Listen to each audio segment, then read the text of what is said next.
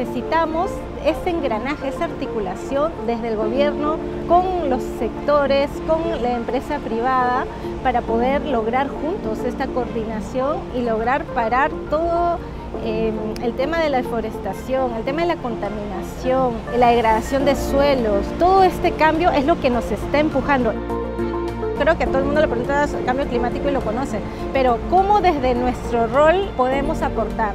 ¿Cómo desde una persona que está en la Amazonía puede aportar? ¿Cómo una empresa que es un gerente, un CEO de un banco, cómo puede aportar? O sea, cada uno tiene que saber en qué medida hacerlo y el gobierno aglutinarlos y aportar en esos gaps que uno por uno no lo vamos a poder hacer.